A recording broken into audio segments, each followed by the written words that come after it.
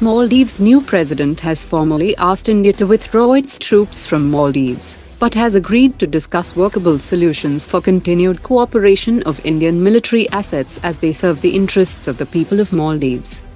Maldives' new president has said that he will soon visit Pakistan and would also appoint its ambassador to Pakistan, as Maldives desires of further strengthening diplomatic relations with Pakistan. Vice President of Economic Explosives Limited has said that the company has successfully delivered 10 lakh multi-mode hand grenades to the Indian Army.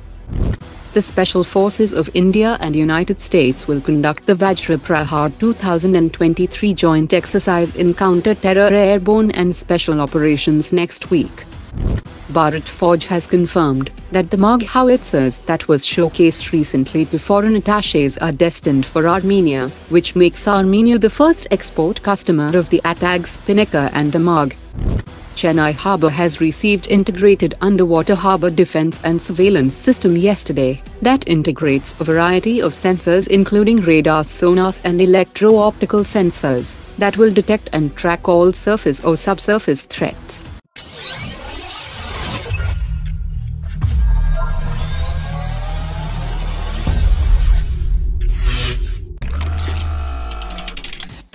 At the International Conference and Exhibition on Aerospace and Aviation in 2047, the DRDO has made a major revelation that it has developed two variants of submarine-launched cruise missiles that includes land attack cruise missile and the anti-ship cruise missile that features thrust vector control and is fired from torpedo tubes of submarines. The DRDO also revealed that a trial was conducted in February 2023, during which it met all the mission objectives with a range of 402 kilometers. It has a diameter of 505 millimeters, a length of 5.6 meters, and has a range of 500 kilometers and a speed of 0.7 Mach.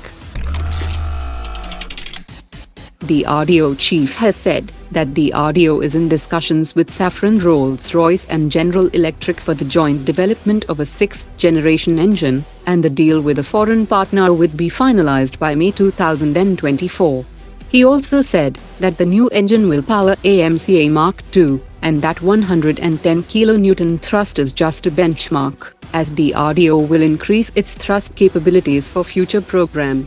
The core of the new engine will have a dry thrust of 75 kN, and it will be able to generate over 130 kN class of thrust with afterburners for future platforms. The DRDO chief has confirmed that all the clearances have been received from the US, and the F414 engines for 108 Tejas Mark II and first two squadrons of AMCA Mark I would be produced within the country by Hindustan Aeronautics. He also said that the first Tejas Mark II prototype will be rolled out within a year, and developmental flight trials will be completed by the end of 2027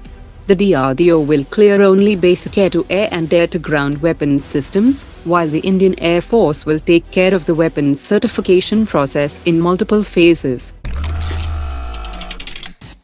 The Indian Navy is closely monitoring the recent development of successful takeoff and landing of Mojave UAV from a Royal Navy aircraft carrier, as the Indian Navy has also expressed interest in exploring similar high-altitude and medium-altitude UAVs from its proposed second aircraft carrier.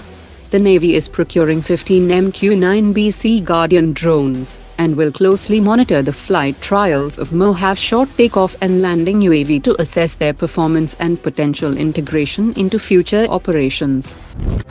Today's top 3 comments